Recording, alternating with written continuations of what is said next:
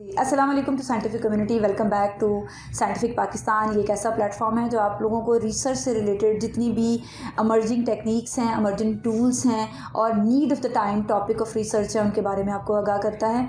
आज हम लोग स्पेसिफिकली जिस टॉपिक की बात करने जा रहे हैं, वो एक ऐसा टॉपिक है जिसके बारे में हर सेशन में मैं क्वेश्चन रिसीव करती हूँ और वो है कम्पटिशनल रिसर्च या कम्पटिशनल केमिस्ट्री आगे आने वाले दौर को डेफिनेटली सब लोगों को पता है, हम लोग समझते हैं कि आर्टिफिशियल इंटेलिजेंस का दौर है टेक्नोलॉजी का दौर है और जब हम अपनी रिसर्च की बात करते हैं तो इसकी इनोवेशन भी उसी तरह मुमकिन है कि अगर हम अपनी रिसर्च में टेक्नोलॉजी को आर्टिफिशियल इंटेलिजेंस को, और जो दुनिया में अमर्जिंग चीज़ें हो रही हैं रिगार्डिंग टेक्नोलॉजी उसको किसी तरीके से मर्ज कर सकें।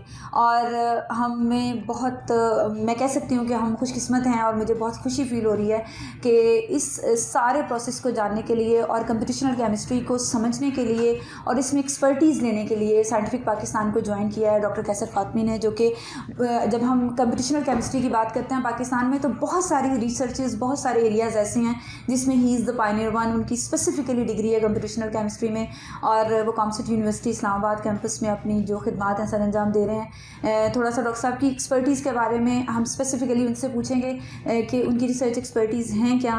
फिर उसके बाद हम अपने पहले क्वेश्चन की तरफ़ मूव करेंगे, जो कि ज़रूरी है एक ऐसे रिसर्चर के लिए, जो कि बहुत बेसिक्स अपनी रिसर्च स्टार्ट करना चाह रहा है, लेकिन उसको कंपटिशनल केमिस्ट्री कंपटिशनल स्टडीज़ की तरफ़ टर्न करना चाह रहा है। जी डॉक्टर साहब स्पेसिफिकली मैं ये पूछूँगी कि आपकी रिसर्च एक्सपर्टीज़ कैसे दूसरों से मुख्तलिफ़ है? और कंपटिशनल केमिस्ट्री है क्या? और आपने क्यों इस फ़ील्ड को चूज़ किया? वो भी इतना बैग जबकि पाकिस्तान में तो अभी भी इसका ट्रेंड उस तरह से नहीं आ रहा। जी जी डॉक्टर साहब बहुत बहुत शुक्रिया। मुझे याद है कि ये 2003 की और फोर की बात है। उस वक्त हम डॉक्टर जहीरुल कासमी एक हम्म, मौजूद होते थे एच में आज भी मौजूद हैं। वो ऑस्ट्रिया से पोस्ट डॉक करके वापस आए थे और उन हम्म। वो जो फ़ील्ड थी उनकी कंपटीशन केमिस्ट्री थी ठीक है वो ज़्यादातर क्यू एस ए आर पर काम करते जो क्वान्टिटेटिव स्ट्रक्चर एक्टिविटी रिलेशनशिप के हवाले से और उसके बाद 2004 में मुझे फिर चांस मिला एक स्कॉलरशिप के थ्रू ऑस्ट्रिया जाने के हम्म। हवाले से और इसमें चूँकि मैं एच ई में एज आ स्टूडेंट काम कर कर रहा था उस ज़माने में तो डॉक्टर इकबाल चौधरी की काफ़ी हम्म। ज़्यादा इसमें इनपुट रही है उन्होंने काफ़ी मुझे सपोर्ट किया उस दौरान। और जो ऑस्ट्रिया में जो हमारे एक सुपरवाइज़र थे प्रोफेसर बर्न माइकल रोडे ठीक है। और उनके ग्रुप में फिर मुझे जाने का इतफाक़ हुआ। ठीक है। तो ऑनेस्टली स्पीकिंग जब शुरू में जब उनका मैंने उनकी टॉक सुनी थी वो सर प्योर थियोरेटिकल केमिस्ट्री था तो it was kind of boring लेकिन जैसे जिस पे वक्त गुजरता रहा हम्म। आपका इंटरेस्ट डेवलप होता रहा हम्म। आपको पता चलता रहा आप इसमें क्या क्या कर सकते हैं। हम्म। तो फिर मुकम्मल तौर पर फिर मैंने इसी फ़ील्ड को अपनाया। जो आपने जो दूसरा सवाल जो पूछा है कि किस तरह डिफरेंट है जो दूसरी जो केमिस्ट्रीज यहाँ पर मौजूद है। तो अगर आप देखेंगे तो अब तक हम जो पढ़ते हुए आए हैं बचपन से कि केमिस्ट्री की कितनी ब्रांचेज हैं उनमें से आपको गिनती के चंद क्लासिकल ब्रांचेस मिलेंगी। मिसाल के तौर पर ऑर्गेनिक केमिस्ट्री हो गया इनऑर्गेनिक केमिस्ट्री हो गया इंडस्ट्रियल केमिस्ट्री वगैरह वगैरह एनालिटिकल. केमिस्ट्री हो गया। उस वक्त हमने भी यही पढ़ा था तो कंप्यूटेशनल mm-hmm. केमिस्ट्री एक हमारे लिए एक नई फ़ील्ड थी उस ज़माने में कि किस तरह हम कंप्यूटर को यूज़ करके हम केमिस्ट्री के जो मुख्तलिफ़ प्रॉब्लम्स हैं हम उनको सॉल्व कर सकते हैं mm-hmm. तो जब मैं इस फ़ील्ड में आया तो मुझे इसमें कुछ चीज़ों का बड़ा मुझे एडवांटेज हुआ। एक तो इसमें आपको किसी केमिकल्स की ज़रूरत नहीं है। Exactly exactly, exactly. आपके पास एक सिस्टम मौजूद होना चाहिए अच्छा सिस्टम हो आपके पास सॉफ्टवेयर मौजूद हो और इवन आज भी बहुत सारे ऐसे सॉफ्टवेयर हैं जो कि फॉर एकेडीमिया वो फ्री ऑफ़ कॉस्ट हैं। अच्छा। और कुछ ऐसे सॉफ्टवेयर हैं जिनको जो कि कमर्शियल है जो कि आपको परचेज हम्म, करना हम्म, पड़ता है। हम्म। लेकिन अगर आप काम करना चाहें तो मेजोरिटी आपका काम जो है वो फ्री ऑफ़ कॉस्ट जो एकेडमिया के लिए जो फ्री है वो आप उनसे काम कर सकते हैं। ये मुझे एक बड़ा प्लस पॉइंट लगा था। दूसरा इस इसमें जो सबसे बड़ा एडवांटेज ये है कि कंप्यूटेशनल केमिस्ट्री में रहते हुए आप उन प्रॉपर्टीज़ को भी स्टडी कर exactly, सकते हैं exactly. जो कि एक एक्सपेरिमेंटलिस्ट नहीं कर सकता नहीं कर सकता। या बहुत मुश्किल से कर सकता है। तो ये जो एक्सेसिबिलिटी है एक ऐसी प्रॉपर्टीज़ के हवाले से जो कि अभी तक इतनी आसानी से नहीं मालूम की जा सकती थी वो कंप्यूटेशन केमिस्ट्री के ज़रिए आप कर सकते हैं। So this was another very plus point तो ये सारी वजूहत थी और एक यूरोप का एक चार्म भी था कि यूरोप जाना है एक अपॉर्चुनिटी मिली है और यकीन उसने इंक्लूडिंग मी और बहुत सारे दूसरे लोग की ज़िंदगी बिल्कुल ही ट्रांसफॉर्म की है। ठीक ठीक ठीक। तो आपने ये स्टडीज़ अपनी पीएचडी डिग्री में ही कंटिन्यू की पीएचडी ही आपकी टोटली जो है वो कंपटिशनल स्टडीज़ में पीएचडी वर्क रिसर्च वर्क आपका जो है। जी जो मैं एच e में जो शुरू में काम कर रहा था 2001 और 2002 2003 के दौरान हम्म। वो बेसिकली बायो ट्रांसफॉर्मेशन था वो एक्सपेरिमेंटल साइड था उसमें एक्सट्रैक्शन वगैरह जैसे भी हमारी हम्म, आपसे डिस्कशन हुई उससे रिलेटेड था। जो पीएचडी पर मेरा मुकम्मल तौर पर जो काम है वो है मोलिकुलर डायनामिक सिमुलेशन जो कि कंप्यूटेशन केमिस्ट्री exactly, की एक एप्लीकेशन exactly. है। और यही वो मेन फ़ील्ड है जो कि 2004 से आज तक 2021 तक मैं हम्म। मुसलसल इसको कैरी किया हुआ मैंने। हम ये डिस्कस करने से पहले कि कैसे बच्चे इसकी तरफ़ टर्न करें? मैं सबसे इंपॉर्टेंट चीज़ ये है कि हम इसका स्कोप डिस्कस कर लें। कि इसका स्कोप क्या है ताकि जिन लोगों को नहीं पता वो भी इसको समझ जाएँ और फिर अगली डिस्कशन उनके लिए यूज़फुल हो जाए कि वो किस तरह से अपने आप को अपने रिसर्च प्रपोजल को इसकी तरफ़ ला सकते हैं। तो इसका स्कोप क्या है? हम आइंदा आने वाले टाइम में कंप्यूटेशनल केमिस्ट्री को क्यों समझते हैं कि इसकी बहुत ज़्यादा डिमांड है और बाकी फ़ील्ड ऑफ़ रिसर्च से इसका ज़्यादा स्कोप है? इसका कोई डेफिनेटली ज़्यादा स्कोप तो नहीं कह सकते हम्म। लेकिन इसकी अपनी इसका अपना एक स्कोप है बाकी फ़ील्ड के अपने स्कोप्स हैं। मैं समझता हूँ कि जैसा अभी हमने थोड़ा थोड़ी देर पहले जो ज़िक्र किया हम्म। कि एक तो इसमें आपको बहुत ज़्यादा फैसिलिटीज़ की ज़रूरत exactly, नहीं है। exactly. तो बिलखसूस जो हम थर्ड वर्ल्ड कंट्रीज़ हैं हम्म, हम्म, पाकिस्तान है इसमें शामिल और इस तरह और भी दूसरे ममालिक अगर आप इर्द गिर्द ममालिक को देखेंगे जहाँ पर फैसिलिटी नहीं है इंफ्रास्ट्रक्चर नहीं, नहीं है। तो यहाँ पर मैं समझता हूँ कि अगर हमने वाकई रिसर्च को कंटिन्यू करना है तो हम्म। हमें ज़रूर इस फ़ील्ड को लेकर के आगे चलना चाहिए हम्म, हम्म, दूसरा जो स्कोप के हवाले से अगर हम बात करेंगे तो हम ये देखेंगे कि बहुत सारी ऐसी किसी भी सिस्टम की प्रॉपर्टीज़ होती हैं जो कि हम थ्रू एक्सपेरिमेंट नहीं मालूम कर सकते। या मुश्किल है ये एक्सपेंसिव है। हाँ जी आ, या हम टाइम सेव करना चाहते हैं। बिलखसूस आजकल के दौर में अगर आप देखेंगे कि एक लम्हा नहीं लगता। आप मिलियंस ऑफ़ कंपाउंड को स्क्रीन कर सकते हैं कंप्यूटेशनल के ज़रिए। बिल्कुल बिल्कुल। और यही काम अगर आप फिजिकली करेंगे हम्म। तो उसमें आपको वो मिलियंस ऑफ़ कंपाउंड्स फिजिकली चाहिए हम्म। वो पूरी फैसिलिटी चाहिए वो इंफ्रास्ट्रक्चर हम्म। चाहिए उतना टाइम चाहिए। और इसके साथ जो एसोसिएटेड कॉस्ट है वो बेनतहा हो जाती है। तो ये आपको एक बड़ा प्लस पॉइंट देता है। तीसरा जो पॉइंट जो मुझे लगता है कि प्लस पॉइंट है इसका कि आप कोई भी जो एक्सपेंसिव एक्सपेरिमेंट डिज़ाइन करना चाहते हैं हम्म। तो आप पहले उसको कंप्यूटेशनली देख लें उसकी फिजिबिलिटी अच्छा, चेक कर लें। अच्छा ये आप है। ये बिल्कुल ये पॉसिबल है। ठीक है। और आप इसको इनिशियल जो प्रिलिमिनरी वर्क के तौर पर आप इसको कर सकते हैं। हम्म, हम्म, और फिर उसकी वैलिडेशन के लिए आप एक्सपेरिमेंट के साइट पर जा सकते हैं। ठीक होगा ठीक होगा एक और एडवांटेज ये है कि बहुत सारी ऐसी चीज़ें होती हैं कि आप एक्सपेरिमेंटली आप किसी सिस्टम को स्टडी कर रहे होते हैं लेकिन आपको ए से सी तक जाते हुए आपको दरमियान में बी का सिरा नहीं मिल रहा होता कि किस तरह जाना है। हम्म। तो ये जो दरमियान का एक कनेक्शन पॉइंट जो है आपको कंप्यूटेशन हम्म। केमिस्ट्री और इसकी कैलकुलेशन आपको दे सकती हैं। तो इस तरह के मुख्तलिफ़ फ़ील्ड में इनकी स्कोप्स इनके मुख्तलिफ़ हो सकते हैं। अब ड्रग हम्म। डिस्कवरी में इनका बहुत बड़ा स्कोप है। और अभी आपने देखा होगा कि जो कोविड नाइन्टीन का जो सिलसिला रहा इसमें बहुत से लोगों ने बहुत सारे कंपाउंड्स की स्क्रीनिंग की। बेनतहा पेपर्स आए हम्म। शुरू में एक दो उसके बाद अब तो शायद थाउजेंड्स में शायद उसके पेपर्स हैं हम्म। और आप नोट कीजिएगा कि उनमें से अच्छे खासे पेपर्स ऐसे हैं जब से बिलखसूस जब से इन्होंने प्रोटीन स्ट्रक्चर उसका डिटरमिन किया थ्रू एक्सरे हम्म। उसके बाद से वर्चुअल स्क्रीनिंग का एक पूरा सिलसिला शुरू हो गया और लोगों ने एक एक प्रोटीन्स को पकड़ करके मुख्तलिफ़ कंपाउंड्स और अच्छा, उनकी लाइब्रेरीज अच्छा। को स्क्रीन करना शुरू कर दिया अच्छा, और फिर उन कंपाउंड्स को फिर बाद में कुछ एक्सपेरिमेंटली उन्होंने वैलिडेट करने की कोशिश की। हम्म। तो बहरहाल ये इस तरह आप इसमें सपोर्ट वो हेल्प कर सकते हैं हेल्प ले सकते हैं यूजिंग कंप्यूटेशनल केमिस्ट्री एक जो चीज़ जो है आ, आ, मैं समझता हूँ कि जो ज़रूरी है वो ये है कि हम हमें ये नहीं सोचना चाहिए कि कंपटीशन केमिस्ट्री जो है वो रिप्लेस कर सकती है किसी भी एक्सपेरिमेंट बिल्कुल बिल्कुल। ये अक्सर मेरे भी स्टूडेंट्स से हमारे जब डिस्कशन होती है तो वो ये पूछते हैं कि क्या हम अगर हम एक्सपेरिमेंट ना करें और हम्म। सिर्फ़ कंपटीशन केमिस्ट्री करके वो so I normally do not suggest that मैं कहता हूँ कि आप दोनों को पैरेलल रखें। हम्म। कुछ प्रॉब्लम्स आपकी कंपटीशन केमिस्ट्री सॉल्व करती है लेकिन जो अल्टीमेट आपका जो टारगेट होना चाहिए वो आपका एक्सपेरिमेंट ही होना चाहिए। बिल्कुल बिल्कुल। आप उससे ज़रूर हेल्प लें। हम्म। अपने जो आप प्रेजेंट कर रहे हैं जो थ्योरी दे रहे हैं जो हाइपोथेसिस दे रहे हैं वट्स एवर इट इज़ आप उसको स्ट्रेंथन करने के लिए आप ज़रूर इस्तेमाल करें आप अपने कंपटीशन केमिस्ट्री के रिसोर्सेज ठीक ठीक।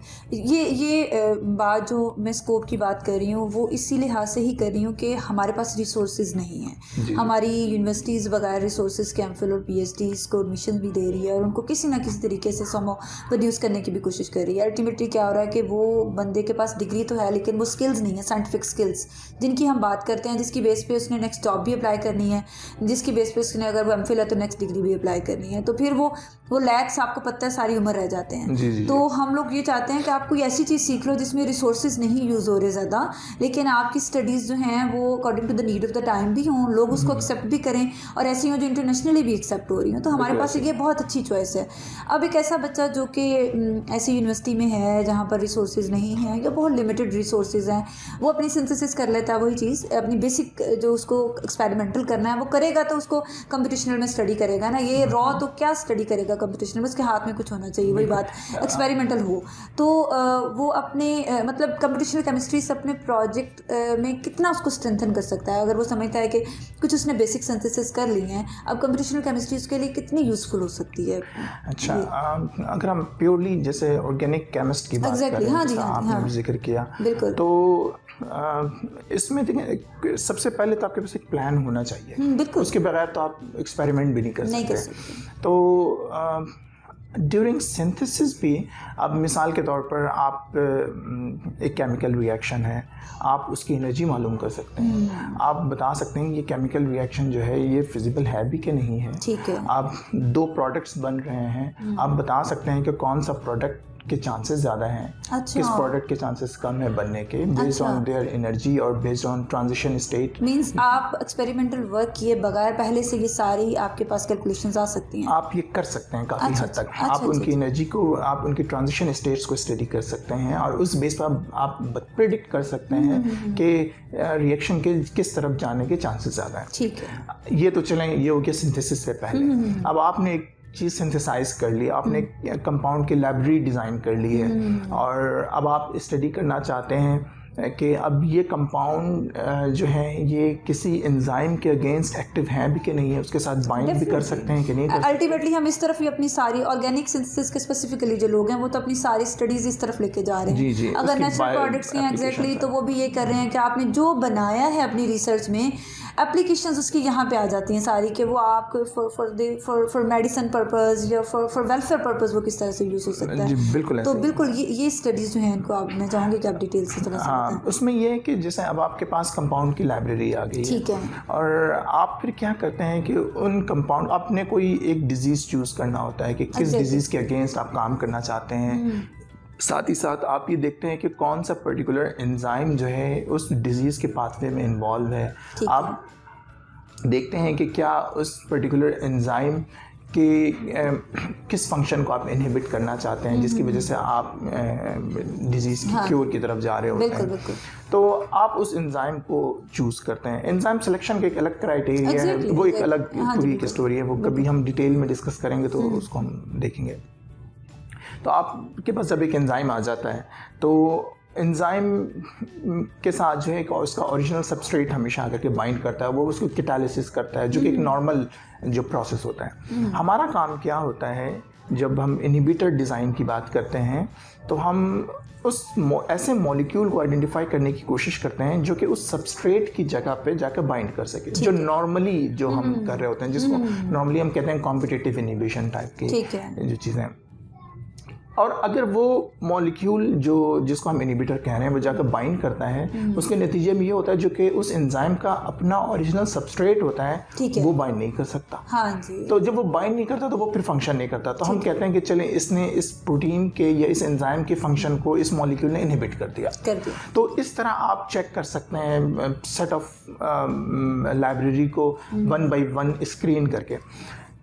अच्छा अब हो सकता है अगर आपके पास हंड्रेड कंपाउंड्स की लाइब्रेरी नॉर्मली आप मिलियंस में होती हैं लेकिन एक फॉर एग्जांपल हंड्रेड है आप उसको ये देखना चाहते हैं कि वो किस तरह बाइंड कर रहा है। उनके कौन कौन से लोकल इंट्रैक्शंस हैं? लिगेंड प्रोटीन इंट्रैक्शंस उनकी एनर्जी क्या है? कितनी कुत के साथ बाइंड कर रहा है? और अगर हम ये भी चेक कर सकते हैं कि अगर प्रोटीन में कोई म्यूटेशंस आती हैं बाइंडिंग साइट पे फॉर एग्जांपल तो क्या वो अभी भी उस लिगन के साथ बाइंड कर सकता है कि नहीं कर सकता? ठीक है। सो so, ये वो सारे काम हैं जो कि आप बिफोर गोइंग टू प्रैक्टिकल यानी कि आप एंजाइम ऐसे करें इनिबिशन exactly, ऐसे करें exactly. उससे पहले आप ये करके आप अपना टाइम बचा सकते हैं। हो सकता है सौ में से आप सिर्फ़ दस मॉलिक्यूल को चेक करना चाहते हो at the end of the day तो आप इमेजिन करें आपने 90 परसेंट जो है अपना वर्कलोड और एक्सपेंसेस वो कम कर लिया। कर लिए तो this is how it helps इसी तरह जैसे मैंने अभी म्यूटेशन का ज़िक्र किया बहुत म्यूटेशंस एक कॉमन फिनमिना जो कि होता है हमारे प्रोटीन्स के अंदर हमारे जीन्स के अंदर तो उसके इफ़ेक्ट्स भी होते हैं और उनकी वजह से प्रॉब्लम्स डिज़ीज़ भी होती हैं। तो वो जो म्यूटेशंस अगर कोई इनहिबिशन कर रहा है कोई प्रोटीन और म्यूटेशंस की वजह से अब वो लिगेंड बाइंड नहीं कर रहा आप इन तमाम चीज़ों को बहुत डिटेल में स्टडी कर सकते हैं। थ्रू कंप्यूटेशनल केमिस्ट्री तो हम तो, इसको प्री असेसमेंट का नाम दे सकते हैं अब प्री असेसमेंट हमारी कितनी परसेंट ठीक होती है इसमें मतलब एक बंदा है जो अच्छा अगेन uh, हम एक बड़ा कॉमन फ्रेज यूज़ करते हैं कंप्यूटेशनल हम्म। केमिस्ट्री में हम्म। या इवन के जो प्रोग्रामर्स भी जो है ना वो हम्म। करते हैं वो कहते हैं कि गार्बेज इन गार्बेज आउट ठीक है अगर आपने अपना इनपुट डाटा ठीक नहीं दिया हाँ। वो तो एक प्रोग्राम है वो आपको रिज़ल्ट दे देगा हम्म। लेकिन इम्पोर्टेंट चीज़ है कि आप कितना अच्छी तरीके से इन तमाम चीज़ों को देख रहे हैं हम्म। अगर आप एक्सपर्ट हैं आप सही तरीके से आप समझ रखते हैं कि किस तरह आपने इनपुट डाटा देना है इनपुट डाटा आपका कैसा होना चाहिए। हम्म। अगर आप उस पर मुतमिन है तो there is a very high chance कि आपके जो रिजल्ट्स हैं वो बहुत एक्यूरेट हों। तो आपने इसमें सीखना क्या होता है? आपकी ये एक्सपर्टीज़ कि आप डाटा किस तरह से इनपुट कर रहे हैं? इसमें मल्टीपल चीज़ें हैं। अच्छा, अच्छा। मिसाल के तौर पर एक सॉफ्टवेयर का इस्तेमाल तो आपको नहीं आना हाँ चाहिए। हाँ दूसरी ये चीज़ के is always a good idea जब आप सिर्फ़ सिर्फ़ टेक्नीशियन बनने के बजाय हम्म। आप एक प्रॉपर एक रिसर्चर के तौर पर काम करें। आपको पता हो कि अगर आप ये पैरामीटर यूज़ कर रहे हैं तो हम्म। इसके क्या कॉन्सिक्वेंसेज हैं? अगर आप ये पैरामीटर यूज़ करें तो इसके क्या कॉन्सिक्वेंसेज हैं? वो कि आज के दौर में ये बड़ा मुश्किल काम है क्योंकि हम्म। इतने सॉफ्टवेयर हैं और हर किसी ने अपने पैरामीटर डिफाइन किए हुए लेकिन the maximum you know is better अच्छा तीसरी चीज़ जो आपको इसमें पता होनी चाहिए कि आपका आप एग्जैक्टली exactly करना क्या चाहते हैं। मेरे पास बहुत सारे लोग आते हैं वो कहते हैं जी हम पेपर पब्लिश करना चाहते हैं तो हम कोई कंपटीशन काम करना हम्म, चाहते हैं। अच्छा हो जाएगा without having any plan you know कि इस हाँ तरह के कुछ हमारी दोस्त हैं। हम्म। तो मैं समझता हूँ कि अगर हम उसको ज़्यादा बेहतर कर सकें कि ये हमारा गोल है हम्म। हम ये करना चाहते हैं और आप बताएँ कि आप इसमें कैसे हेल्प कर सकते हैं। ठीक है। So that's probably a much better thing उसमें um, एक शख्स को ये पता होना चाहिए पूरा कि वो करना क्या चाहते हैं। बिल्कुल, बिल्कुल। और दूसरा ये भी पता होना चाहिए कि किस किस टूल से आप क्या क्या काम ले सकते हैं। हम्म, तो। काफ़ी कॉम्प्रिहेंसिव इंफॉर्मेशन आपको होनी चाहिए आनी चाहिए आपके पास। कुछ बेसिक सॉफ्टवेयर जो आप समझते हैं फ्री भी हैं हम्म। ठीक है? और उनको बच्चों के लिए सीखना इतना मुश्किल भी नहीं है। और वो अपने सीनियर से फॉर एग्जांपल एक बहुत कॉमन सॉफ्टवेयर है ओरिजिन सॉफ्टवेयर ओरिजिन के भी बहुत सारे वर्जन है। लोग उसको सिर्फ़ ग्राफ ड्रॉ करने के लिए यूज़ करते हैं। हम्म। लेकिन मैंने उससे बहुत सारे यही डायनामिक्स और ये सारे पैरामीटर्स ये स्टडी किए वो इतना मुश्किल भी नहीं था। और इसी तरह से एमटी सिमुलेशन उसको भी यूज़ किया। कुछ ऐसे जो आ, मतलब फ्री भी हैं और यही इसी तरह के स्टूडेंट्स जिनके पास इस तरह से अप्रोच नहीं है वो कौन से ऐसे सॉफ्टवेयर जिनके सीखना भी उनके लिए आसान है और बेसिक सॉफ्टवेयर अगर हम बा, मैं बात करूँ अच्छा, अच्छा ये आपने अच्छा सवाल पूछा हाँ है। अगर हम मोलिकुलर डॉकिंग की बात करते हैं या वर्चुअल स्क्रीनिंग की बात करते हैं हम्म। तो आपके पास एक बहुत ही मशहूर और फ्रीली एकेडमिक के लिए एकेडमिक्स के लिए वो फ्रीली अवेलेबल है। हम्म। वो कहलाता है ऑटोडॉक टूल्स ठीक है। ऑटोडॉक फोर ऑटोडॉक टूल्स एक कॉम्प्रेंसिव एक स्वीट है। ऑटोडॉक फोर है। हम्म। एक आप इसको इस्तेमाल कर सकते हैं। लेकिन ऑटोडॉक फोर कंपैरेटिवली स्लोअर है। ठीक है। उस उसी का जो नेक्स्ट वर्जन है वो ऑटोडॉक वीना वो आप वर्चुअल स्क्रीनिंग के लिए इस्तेमाल कर सकते हैं। और ये फ्री ऑफ़ कॉस्ट है। और बहुत सारे इसके unfortunately G U I itself मौजूद नहीं लेकिन बहुत सारे जो दूसरे सॉफ्टवेयर हैं उन्होंने इसका जी यू आई हम कहते हैं ग्राफिकल यूज़र इंटरफेस यानी कि अगर मैं काम करना चाहता हूँ तो बजाय इसके कि मैं कमांड लाइन से काम करूँ हम्म। मैं जैसे विंडोज़ में ग्राफिक्स होता है ना आपने फोल्डर हम्म। क्लिक किया तो उस हम्म। तरह एक यूज़र इंटरफेस आपको मिल जाता है। बहुत सारे दूसरे यूज़र इंटरफेस आपको मिल जाएँगे and you can always use it ये तो मैंने आपको बताया मॉलिकुलर डॉकिंग के हवाले से वर्चुअल स्क्रीनिंग के हवाले से अगर हम बात करते हैं मॉलिकुलर डायनामिक सिमुलेशन के हवाले से। तो मॉलिकुलर डायनामिक सिमुलेशन में आप आपके पास जो मेजॉरिटी टूल्स जो हैं ख़ास तौर पे जो क्लासिकल मॉलिकुलर डायनामिक सिमुलेशन है वो फ्रीली अवेलेबल हैं फॉर एकेडमिया वो एकेडमिया के लिए हैं तो स्टूडेंट्स उसको कर सकते हैं अप्रोच जी जी एब्सोल्युटली कर सकते हैं। अच्छा। उनको एकेडमिया से फ्री से मुराद ये है कि आप उसको कमर्शियल पर्पस के लिए इस्तेमाल नहीं कर सकते। ठीक है लेकिन कुछ इनमें ऐसे सॉफ्टवेयर भी हैं जिनको आप कमर्शियली भी इस्तेमाल कर सकते हैं वो उनका अगर लाइसेंस आप देखेंगे तो दे हैव परमिटेड यू लेकिन एकेडमिया के लिए फ्री से मुराद ये हुआ कि आप आपको काम कर सकते हैं as a student as a researcher as a faculty member आप उन पर पेपर पब्लिश कर सकते हैं। हम्म। लेकिन आप उस सॉफ्टवेयर को सेल नहीं कर सकते। ठीक है। ये मकसद है कमर्शियल का। ठीक है। तो उसमें एक जो एम डी सिमुलेशन के हवाले से अगर आप टूल्स की बात करते हैं एक टूल्स बहुत मशहूर है एन ए एम डी के नाम से। उसी का जो ग्राफिकल यूज़र इंटरफेस है वो VMD है जो कि बहुत कॉमनली यूज़ होता है। ठीक है। डेफिनेटली इनकी डिटेल्स हम्म। हमारी तभी आएँगी और लिंक भी शेयर करेंगे जब हम इनके कोर्स रजिस्टर ऐसे तो बच्चों डाउनलोड भी कर लेंगे तो उनको नहीं पता उनको यूज़ कैसे करें इसी तरह बिल्कुल आप सही कह रही हैं। हम्म। इसी तरह एक सॉफ्टवेयर एमडी सिमुलेशन के लिए ग्रोमैक्स बहुत कॉमनली यूज़ होता है सॉफ्टवेयर सिमुलेशन में। आप इसको इस्तेमाल कर सकते हैं। आप डेस्टमेंट को इस्तेमाल कर सकते हैं। ये भी एक बहुत commonly use M D simulation के लिए सॉफ्टवेयर है।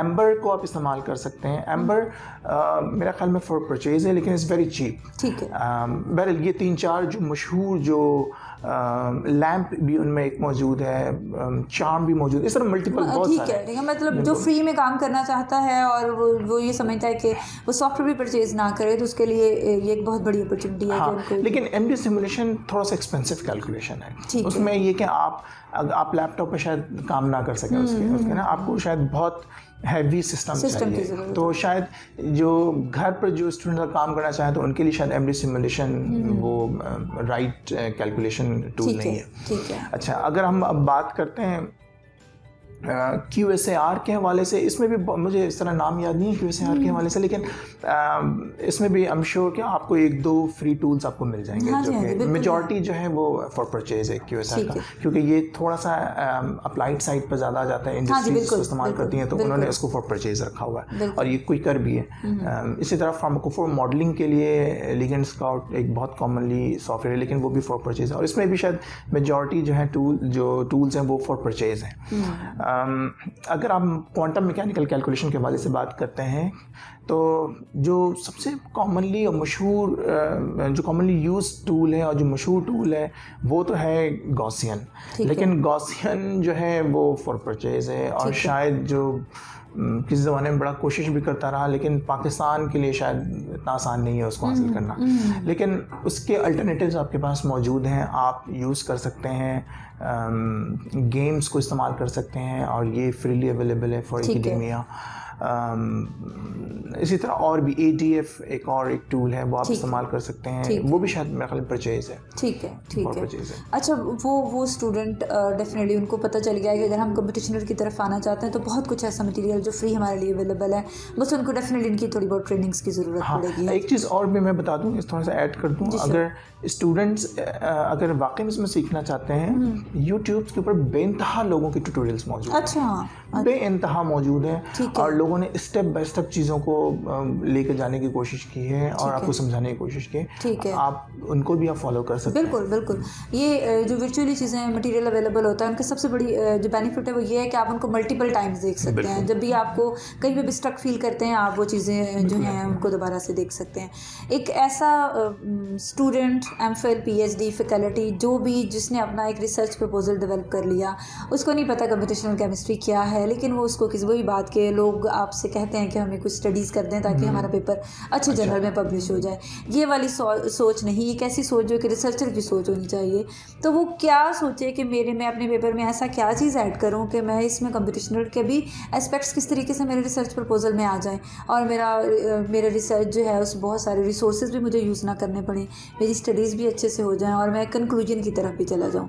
तो वो सोच कैसी होनी चाहिए? मतलब कौन कौन सी ऐसी स्टडीज़ हैं जो एक आप कह लें कि नेचुरल साइंसिस का स्टूडेंट जो है जिसमें हमारे पास आपको पता है आ, सारी ये चीज़ें आ हाँ हाँ जी आ जाती हैं। तो थोड़ा सा इसको आप एक्सप्लेन कर दें ताकि जो प्रपोजल डेवलप कर रहे हैं या अपनी रिसर्च को फैकल्टी है बहुत सारी यंग फैकल्टी है उसको ज़रूरत है अपनी रिसर्च को टर्न करने की। वो इसकी हम्म। तरफ़ आना चाहते हैं कंपटिशनल स्टडीज़ की तरफ़। इधर वो ऑर्गेनिक के हैं नेचुरल साइंसिस के हैं एक्सट्रैक्शन के हैं या इवन दो के एनालिटिकल केमिस्ट्री के लोग हैं सब लोग इसका इसको अपने साथ मर्ज करना चाहते हैं। तो अगर मैं यंग फैकल्टी को स्पेसिफिकली आपके साथ टारगेट कर लेती हूँ जो कि जिन्होंने रिसर्च की भी है एक्सपर्टीज़ भी हैं लेकिन but but they are new in computational chemistry और वो इसको साथ मर्ज करना चाहते हैं। तो वो क्या थिंकिंग प्रोसेस क्या होना चाहिए क्या सोचें किस तरह से अपनी रिज़ल्ट को अपनी रिसर्च को अपनी रिसर्च प्रपोजल को मर्ज करें और थोड़ा सा कैसे उसको आगे लेके चलें। अच्छा इसमें डॉक्टर साहब सबसे पहली सोच तो यही होना चाहिए आपके पास एक वर्क प्लान होना चाहिए। ठीक है। आप एग्जैक्टली आपका मेन गोल क्या है ठीक है। आप करना क्या चाहते हैं। हम्म। जो अगर हम बात करते हैं कंप्यूटेशनल केमिस्ट्री के हवाले से चूँकि मेरी फ़ील्ड प्रोटीन साइड पर ज़्यादा है हम्म। तो मैं उसी की मिसाल दे देता हूँ कि मिसाल के तौर पर कि अभी हमारी हमारी अपनी यूनिवर्सिटी में डॉक्टर हबीब बुखारी जो हमारे एक सीनियर प्रोफेसर भी हैं बायो साइंस के चेयरपर्सन हाँ। हैं और अब तो उनका नोटिफिकेशन भी आ रहा है वो वाइस चांसलर का कोई सारी यूनिवर्सिटी के हवाले से। अच्छा, अच्छा, तो उन्हीं के स्टूडेंट काम कर रहे हैं वो फ्लोरेसेंट ग्रीन फ्लोरेसेंट प्रोटीन पर बड़ा उनका काम है और हम्म। फिर उनके जहन में ये था कि हम किस तरह इस प्रोटीन को यूज़ कर सकते हैं किसी भी मेटल आयंस की डिटेक्शन के हवाले से या हम्म। उसको कैप्चर करने के पॉइंट ऑफ़ व्यू से तो उसके लिए फिर उन्होंने एक एक और प्रोटीन आइडेंटिफाई किया जो कि फॉर एग्जांपल आर्सेनिक के साथ बाइंड करता है और किस तरह उनको फ्यूज़ किया फ्यूज़ हम्म। करने के बाद अब हम क्या बता सकते हैं कि अगर आप इनको फ्यूज़ करते हैं दो डिफरेंट प्रोटीन्स हैं फ्यूज़ हम्म। करने के बाद उनके स्ट्रक्चर में क्या तब्दीली हो सकती है, है। आ, क्या उनका स्ट्रक्चर स्टेबल भी है कि नहीं है हम्म, हम्म, क्या अभी भी उसके जो बाइंडिंग साइट्स हैं वो प्रिजर्व्ड हैं कि नहीं है उनके इन शॉर्ट उनके स्ट्रक्चर डायनामिक्स और किसी हद तक हम रिलेट कर सकते हैं उसके फ़ंक्शन के साथ। ठीक है। तो ये एक पूरी एक स्टडी बन सकती है जो कि ये गैप था हम्म। जो कि वो आप शायद मालूम नहीं कर सकते इतनी आसानी के साथ। और आपने सोचा और आपने उसको चेक भी कर लिंक किया। हाँ जी, उसके लिए फिर यही ज़रूरी है कि आपको पता होना चाहिए कि कंप्यूटेशनल केमिस्ट्री के क्या क्या एप्लीकेशन हैं? ठीक है। आप उसको एक दफ़ा ज़रूर पढ़ें। आप हम्म। आके डिस्कशन करें जो इनके एक्सपर्ट्स हैं। हम्म। और फिर आप देखें कि किस तरह आप अपने काम को लिंक कर सकते हैं उसके हम्म। साथ तो ये एक बड़ा अच्छा अगर हो सकता है अगर आप एक तरफ़ थ्योरी का काम हो एक तरफ़ बेट लैब का काम हो आप दोनों मिला के आप पेपर पब्लिकेशन की तरफ़ जा रहे हो तो आपके रिज़ल्ट ज़्यादा रिलायबल भी होते हैं। आप ज़्यादा खुद भी कॉन्फिडेंट होते हैं और एक मल्टी डिसिप्लिनरी फ़ील्ड में भी अपने आप हम्म, को शामिल हम्म, करते हैं। हम्म, ठीक है। मतलब आप कहते हैं कि आपको पहले से अच्छे से थोड़ा सा रिव्यू लिटरेचर रिव्यू से गो थ्रू होना है। विदाउट डूइंग एनी स्टडी और आप वही कहें कि हम कंप्यूटर केमिस्ट्री का तड़का लगाएँ तो फिर आप कुछ भी नहीं कर आप उस तरह से अपने रिसर्च प्रपोजल को डेवलप भी नहीं कर सकते। इसके इसको अगर आपने लेके आना है तो आपके रिसर्च प्रपोजल को किसी न किसी तरीके से इस तरह से बायो साइंसेज हम कह सकते हैं इसको। या हम हम फ़िज़िकल केमिस्ट्री भी हाँ जी हाँ तो फ़िज़िकल केमिस्ट्री आ जाती है। अगर हम अपने रिएक्शन की सारी वो सारी चीज़ें अगर ऑर्गेनिक केमिस्ट्री के लोग हैं हाँ। तो वो इन दोनों चीज़ों को भी मर्ज कर सकते हैं साथ अगर स्टडी बिल्कुल हाँ जी बिल्कुल अगर आप ऑर्गेनिक केमिस्ट्री के हैं हम्म। एक तो आप केमिकल रिएक्शन को भी स्टडी कर सकते हैं ठीक है उनके थर्मोडाइनमिक्स को स्टडी कर सकते हम्म। हैं इसी तरह साथ ही साथ जब आप एक कंपाउंड सिंथेसाइज कर लेते हैं हम्म। तो सिंथेसाइज करने के बाद आप उनकी मुख्तलिफ़ इंजाइम के अगेंस्ट आप हम्म। उसकी एक्टिविटी को भी चेक कर सकते हैं कि बाइंडिंग कर रहा है कि नहीं कर रहा। लेकिन उसके लिए आपके जहन में पहले एक आइडिया होना चाहिए हम्म। कि आप किस डिज़ीज़ के खिलाफ बिल्कुल जो आप सिंथेसाइज कर रहे हैं वो बायोएक्टिव है भी कि नहीं। हाँ, हाँ जी वो उसमें उसमें वो तमाम सलाहियतें मौजूद हैं हम्म, जो कि इनिबिटर्स की होती हैं कि नहीं होती हैं। ऐसे नहीं हो कि एक रैंडमली आपने चार केमिकल्स को मिलाया एंड आपको आठ केमिकल्स मिल गए हाँ जी होता यही है कि हम कुछ ऑर्गेनिक सिंथेसाइज कर लेते हैं फिर हम कहते हैं कि तुक्का लगा लेते हैं शायद इसकी कोई बायोएक्टिविटी निकल आए और हमारा कंपाउंड जो है ना वो अच्छा कंपाउंड हाँ बिल्कुल ये असल में ये सोच इसलिए है क्योंकि हम सोचते हैं पब्लिकेशन के point exactly exactly the moment आप कि ये सोच ख़त्म हो जाए ना कि पब्लिकेशन हम्म। मैंने मैंने करनी है। और ये हम्म। मैं इस एक फैकल्टी मेंबर जो यंग फैकल्टी मेंबर है हम्म। मैं उसको ब्लेम भी नहीं करता क्योंकि शायद हमारा ओवरऑल सिस्टम ही ऐसा हो गया है एक कि पब्लिकेशन की रेस में आपने भागना होता है। तो अगर आप ये छोड़ दें कि पब्लिकेशन करना है आप उसको एक आज़ादी दें कि वो कोशिश करें कोई अच्छा काम कर सके। टाइम ही लगेगा ना लेकिन शायद हम मुझे लगता है बल्कि मैं यकीन से कह सकता हूँ कि शायद हम ज़्यादा बेहतर आउटपुट की तरफ़ चले जाएँ। तो ये चीज़ जो मुझे लगता है जो मिसिंग और इसी वजह से एक जो भीड़ चा, भीड़ चाल जो शुरू हो गई है हाँ जी भीड़ चाल नैनो केमिस्ट्री नैनो पार्टिकल्स की भी बहुत सारा शुरू हो हाँ। गया हर कोई अपनी रिसर्च को उसकी तरफ़ लेके जाना चाह रहा है अच्छा जो लोग ले गए सक्सेसफुल हो गए नैनो पार्टिकल उन्होंने डेफिनेटली उन्होंने अपनी अपनी रिसर्च को नई तरफ़ लेके गए हैं तो अब वो नैनो पार्टिकल्स की सिंथेसिस एप्लीकेशन को भी उस तरह से नहीं समझते। उन्होंने सिंथेसाइज कर लिए। हम्म, हम्म। अब वो कंप्यूटेशनल केमिस्ट्री को उसमें इन्वॉल्व कर सकते हैं। बिल्कुल कर सकते अच्छा। हैं। इसका एक, एक सॉफ्टवेयर आता है वो काफ़ी एक्सपेंसिव सॉफ्टवेयर है। वो अच्छा। कहलाता है मेट्रियल स्टूडियो वो डिस्कवरी स्टूडियो का एक मॉड्यूल में से कहने का मकसद ये था कि इतना मशहूर है कि उसके लिए उन्होंने पूरा एक टूल हम्म। डिज़ाइन किया हुआ है। ठीक है। इसमें देखें अगर आप अगर मैं फिर बायोलॉजी के परस्पेक्टिव से बात हम्म। करूँ नैनो पार्टिकल का बड़ा रोल है। जी बायोलॉजी को ही अल्टीमेटली स्टडी हाँ, करना होता है। आपने टारगेटेड हम्म। डिलीवरी करना है। तो आप ये देख सकते हैं कि एक नैनो पार्टिकल आपने खुद जनरेट किया हम्म। आप उसके बाद एक उसके साथ कंपाउंड या मॉलिक्यूल को फ्यूज़ किया और आप देख सकते हैं कि इसकी बाइंडिंग कितनी बेहतर हो सकती है ये नैनो पार्टिकल की मौजूदगी में बाइंड करता भी है कि नहीं करता तो हम्म। इस तरह की आप स्टडी डिज़ाइन कर सकते हैं और इस तरह के बहुत सारे पेपर्स मौजूद हैं जहाँ पर कंप्यूटेशनल केमिस्ट्री के टूल्स को यूज़ किया है और नैनो हम्म। केमिस्ट्री और नैनो बायोलॉजी को उन्होंने स्टडी करने की कोशिश तो नैनो पार्टिकल्स जो कर रहे हैं उनके लिए फ्री टूल अवेलेबल नहीं है बेसिक लेवल पे अगर कुछ को, को करना चाह रहे हैं तो।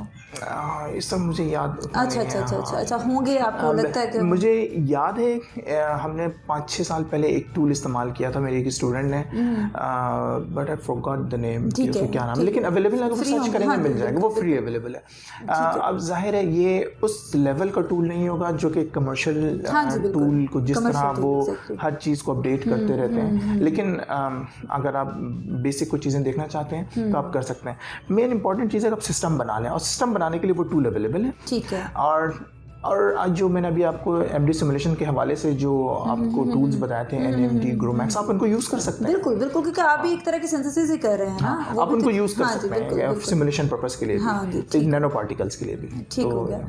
ठीक है डॉक्टर साहब हमारी ऑडियंस के लिए एक बहुत बड़ी खुशखबरी मैंने शुरू में बताया डॉक्टर साहब हमारे साथ कोर्स इंट्रोड्यूस करवा रहे हैं इंशाल्लाह हम लोग ऑन कैंपस फ़िज़िकल ट्रेनिंग्स भी डॉक्टर साहब के साथ प्लान कर रहे हैं और इंशाल्लाह। जल्द हम आपकी यूनिवर्सिटी को भी विज़िट करेंगे। जहाँ जहाँ से हमें सारे स्टूडेंट्स देख रहे हैं। डॉक्टर साहब थोड़ा सा आप अपना जो कोर्स डेवलप करेंगे डेफिनेटली आप अपनी स्पेशलिटी को जहन में रखते हुए करेंगे। वो कौन कौन से लोग हैं जिनको आप बेसिक पढ़ा सकते हैं? नेचुरल साइंसेज के कौन कौन से डिपार्टमेंट हैं जो आप समझते हैं कि आपके नॉलेज से फ़ायदा ले सकते हैं? बिकॉज़ सबको आपकी ज़रूरत है।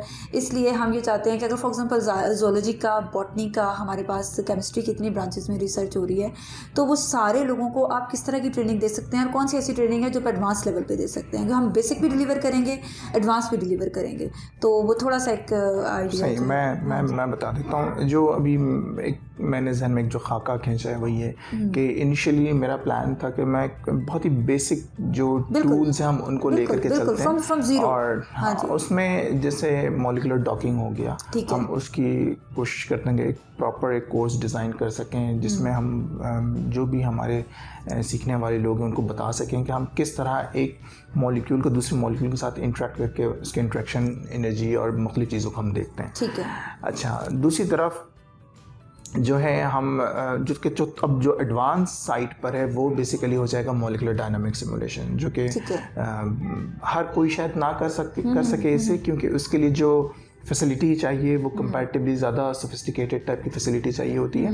लेकिन अगर कोई फैकल्टी मेंबर्स इंटरेस्टेड होता है तो हम उसको कर सकते हैं। और उसमें फिर हम मुख्तलिफ़ चीज़ों को स्टडी कर सकते हैं। मिसाल के तौर पर एक ड्रग का क्या बिहेवियर हो सकता है जब वो डायनेमिक स्टेट में हो क्या वो लीगन के साथ प्रोटीन के साथ अभी भी बाइंड कर रहा है कि नहीं कर रहा हम्म। इसी तरह हम देख सकते हैं कि अगर कोई पोस्ट ट्रांसलेशन मोडिफिकेशन हुई हैं किसी भी प्रोटीन हम्म। में तो उसकी वजह से क्या तब्दीली आई हैं क्या उसकी बाइंडिंग हम्म। इफ़ेक्ट होती है नहीं होती है हम देख सकते हैं कि म्यूटेशंस की वजह से कोई तब्दीली होती है कि नहीं होती है, है। हम देख सकते हैं कि टम्परेचर वेरी करने से कोई फ़र्क पड़ता है कि नहीं पड़ता हम्म।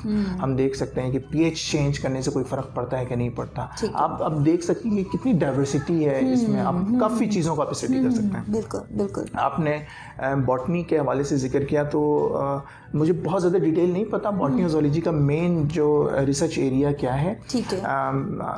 बट मेरा ख्याल में जो बॉटनी वाले वो प्लांट्स के साइड पर वो स्टडी करते हैं। exactly, तो जो प्लांट साइड पे जो वो स्टडी करते हैं और प्लांट में भी जैसे हीट शॉक प्रोटीन्स हो गए हम्म। या ड्रॉट प्रोटीन इस तरह के जो प्लांट्स हम्म। होते हैं उसमें वो किस तरह उनके प्रोटीन एग्जिस्ट करते हैं किस तरह वो इंट्रैक्ट करते हैं हम हम उस प्रोटीन को हम स्टडी कर सकते हैं। ठीक है। इसी तरह जोलॉजी का मुझे मुझे बहुत सारी डिटेल हाँ नहीं मुझे जो याद है वो ये है कि वो बस जानवरों के साथ जानवरों पे ही। उनके एक्सटर्नल और इंटरनल बिहेवियर्स को ही चेक करते हैं। हाँ जी हाँ अगर वो मॉलिक्यूलर लेवल पर चले जाएँ तो हाँ वहाँ पर हम इन्वॉल्व हो सकते हैं। इन्वॉल्व हो सकते हैं ठीक है और जिस तरह प्लांट में भी आप मॉलिक्यूलर लेवल पर आ जाएँगे तो हम इन्वॉल्व और मेरे ख्याल में यही रिसर्च है यही साइंस है कि आप from the very basic unit से स्टार्ट करें कि चेंजेस क्या आई हैं और किस तरह से आई हैं और ये सारी चीज़ें हैं। पाकिस्तान में बच्चे कंपटीशन लास्ट क्वेश्चन है मेरा कि हम्म। जो आना चाहते हैं उनके लिए ऐसा मैसेज कि कोई मुश्किल चीज़ है आसान है कर सकते हैं आप लोग और करना चाहते हैं तो डॉक्टर कासमी साहब उनको किस तरह से हेल्प कर सकते हैं? फातमी साहब उनको किस तरह से हेल्प कर सकते हैं? देखिए अगर आप करना चाहते हैं तो कोई चीज़ मुश्किल नहीं है। ठीक है। नहीं करना चाहते हैं तो हाँ, सारी हाँ, चीज़ें मुश्किल है। बच्चों का ट्रेंड बहुत है हम्म। बच्चे करना चाहते हैं। जो मैंने एक्सपेक्ट किया जो बच्चे इसकी तरफ़ आना चाहते हैं वो ही वो from the from from very first level of their research for example अगर वो अंडर ग्रेजुएट के स्टूडेंट्स हैं और वो रिसर्च की तरफ़ जाना चाहते हैं तो वो इसके स्कोप को हम्म। समझना चाहते हैं। वो चाहते हैं ये क्या है। बिल्कुल एक जो चीज़ जो मैं खुद भी कमी महसूस करता हूँ वो ये कि इवन के नाव अभी भी इस वक्त पाकिस्तान में किसी भी लेवल पर कंप्यूटेशन केमिस्ट्री नहीं पढ़ाई जाती नहीं पढ़ाई जाती और ये बहुत बड़ी वजह है कि जो जो जो हमारे अंडर के स्टूडेंट हैं उनको पता नहीं होता कि कंप्यूटेशन केमिस्ट्री क्या चीज़ है। शायद हाँ उन्होंने नाम सुना हो लेकिन उनको पता नहीं होता।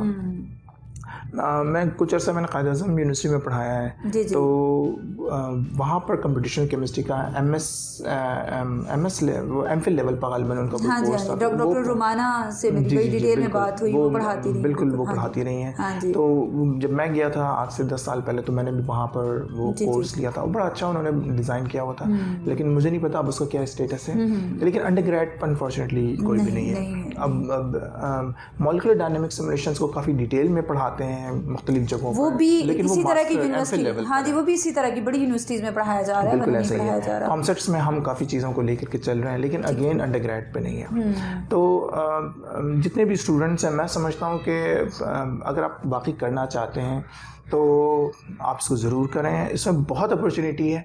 कुछ चीज़ें जो ज़रूरी हैं इसको सीखने के लिए मैं समझता हूँ। और जो शायद आने वाले 20 30 40 सालों में जो आप जो आप लोगों का जो कैरियर है जो लाइफ है जो ज़रूरी है वो ये हैं कि नंबर वन अगर आप इस फ़ील्ड में आना चाहते हैं तो आपकी केमिस्ट्री तो अच्छी होनी चाहिए ऑब्वियस सी बात है। दूसरी आपकी जो स्टैटिस्टिक साइड पर अपना थोड़ा सा तवज्जो हम्म, दें एनालिसिस हम्म। को बेहतर करें। हम्म, तीसरी जो इम्पोर्टेंट चीज़ है अगर आप इस वक्त आ सकते हैं सीख सकते हैं प्रोग्रामिंग को तो या फिर आर्टिफिशियल इंटेलिजेंस की तरफ़ आप आ सकते हैं। आर्टिफिशियल इंटेलिजेंस का एक बहुत बड़ा एक रोल अब आ रहा है कंप्यूटेशनल केमिस्ट्री में बायो इन्फॉर्मेटिक्स में। ठीक है। और अगर प्रोग्रामर बन सकते हैं तो आप बहुत ज़्यादा एक्सेल कर सकते हैं इस फ़ील्ड इस फ़ील्ड के अंदर। जब से बायो बायोइन्फॉर्मेटिक्स शुरू हुई है तकरीबन आई बिलीव के सत्रह अठारह साल उन्नीस साल हो गए होगा पाकिस्तान के अंदर। ठीक है। तो और फिर अंडर ग्रेड लेवल पर कोर्स भी इंट्रोड्यूस हो गया। कंप्यूटर कंप्यूटर साइंस के लोगों ने आकर पढ़ाना भी शुरू कर दिया। हम्म। तो अब अच्छी खासी तादाद हमारे पास मौजूद है जो कि अच्छे बायोलॉजिस्ट भी हैं और अच्छे प्रोग्रामर भी हैं। अच्छा। यानी कि उनके पास दोनों स्किल्स मौजूद हैं। लेकिन ये बहुत अनफॉर्चुनेट है कि कोई ऐसा आपको शायद पाकिस्तान में आपको नज़र ना आए जो कि एक अच्छा केमिस्ट भी हो और अच्छा प्रोग्रामर भी हो बैक हम्म, वक्त हम्म, हम्म, तो ये एक मेरा मेरा ख्याल में ये गैप है और ये जो नए स्टूडेंट्स हैं उनके लिए एक अपॉर्चुनिटी है। आर्टिफिशियल इंटेलिजेंस का बहुत बड़ा रोल है और मैं समझता हूँ कि इनको ज़रूर सीखना चाहिए। ठीक है। और बिलखसूस जो प्रोटीन फोल्डिंग के हवाले से अभी रिसेंटली एक खबर आई थी डीप माइंड एक कंपनी है। उन्होंने एक अल्फ़ा फोल्ड के नाम से एक एक सॉफ्टवेयर डेवलप किया है जो कि प्योरली बेस कर रहा है आर्टिफिशियल इंटेलिजेंस पर। और ये वो सॉफ्टवेयर है जो कि प्रोटीन स्ट्रक्चर को प्रिडिक्ट करता है। और ये एक बहुत बिग क्वेश्चन है बायोकेमिस्ट्री में भी बायोफिज़िक्स में भी और हमारे बायो इन्फॉर्मेटिक्स में भी स्ट्रक्चरल बायो इन्फॉर्मेटिक्स में कि प्रोटीन का स्ट्रक्चर कैसे प्रिडिक्ट हो। और वो जैसा वो कहते हैं कि काफ़ी तेज़ी से वो बहुत फास्ट हैं और एक्यूरेट प्रिडिक्शन दे रहा है। अभी बिल्कुल इनिशियल इनिशियल स्टेज पर है हम्म। लेकिन मेरा ख्याल में इसमें बहुत अपॉर्चुनिटी अभी मौजूद है। दूसरा इवन कि मैं और मेरा ग्रुप भी हम काम कर रहे हैं और हम बेसिकली आर्टिफिशियल इंटेलिजेंस को यूज़ कर रहे हैं रिट्रोसिंथेटिक एनालिसिस के हवाले से। ठीक है। अभी हम हम मुझे लास्ट तकरीबन तीन साढ़े तीन साल हो गया उस पर काम करते हुए आ, हम्म। कुछ हमारे पास बेसिक रिजल्ट्स अच्छे आए हैं अब हम इन हम उसकी पब्लिकेशन की तरफ़ जा रहे हैं आ, हम्म। लेकिन ये भी एक फ़ील्ड है जो कि सिर्फ़ पाकिस्तान में ही नहीं बल्कि पूरी दुनिया में भी अगर हम देखें ना तो बहुत कम लोग हैं जो कि इस डायमेंशन में काम कर रहे हैं। ऐसे ही तो क्योंकि आर्टिफिशियल इंटेलिजेंस जो यंगस्टर्स के लिहाज से देखे जाए तो इसका जो बूम आया है वो अभी आठ दस साल में ज़्यादा फिर तेज़ी से इसने बढ़ना शुरू किया। तो इसमें मैं समझता हूँ कि इनको ज़रूर आना चाहिए और हम्म, ज़रूर इसको वो हम्म, करें। और हम्म। किस तरह इन दोनों फ़ील्ड को मर्ज कर सकते हैं वो उनको सोचना चाहिए कैसे सही सही।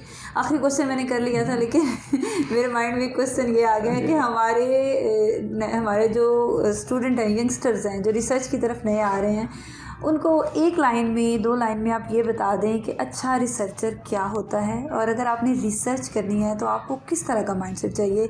वो जो ट्रेडिशनल चल रहा है आप अपने आप को उससे कैसे बचा सकते हो थोड़ा सा उनको ये ज़रूरी है हाँ जी मैं मैं समझता हूँ कि जो क्रियोसिटी है ना अच्छा। ये एक ऐसी चीज़ है जो कि हर रिसर्चर के अंदर होना चाहिए।, चाहिए ना सिर्फ़ ये कि हर रिसर्चर के अंदर होना हम्म। चाहिए बल्कि एक आम शख्स में भी होना चाहिए, होना चाहिए। लेकिन वो चीज़ ज़्यादा प्रोमिनेंट होना चाहिए डोमिनेंट हम्म। होना चाहिए एक रिसर्चर एक साइंटिस्ट के इसमें दूसरी जो चीज़ मैं समझता हूँ वो है कमिटमेंट ठीक है। आप मायूस भी होते हैं प्रॉब्लम्स हम्म। भी होती हैं। हम्म। आप फिर जब आप एक रिसर्चर बनते हैं तो अगर आप इस नीयत से बन रहे हैं कि आपने बहुत सारा पैसा कमा लेना है हम्म, तो शायद this is not your field जैसे अभी हमारी आपसे बात हो रही थी। बिल्कुल।